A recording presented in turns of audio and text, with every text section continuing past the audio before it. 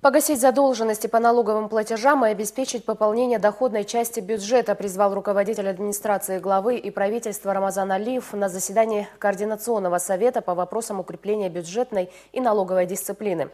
В ходе доклада об исполнении доходной части консолидированного бюджета на 2014 год был сделан акцент на необходимость соблюдения подрядными организациями, осуществляющими реализацию государственных контрактов за счет бюджетных инвестиций, налоговой нагрузки в реальных экономических обоснованных размерах.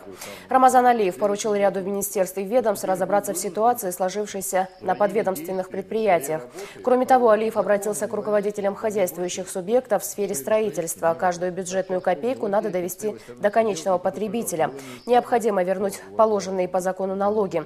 В отношении предприятий, которые пытаются уклониться от уплаты налогов, будут приняты соответствующие меры, подчеркнул руководитель администрации главы и правительства республики.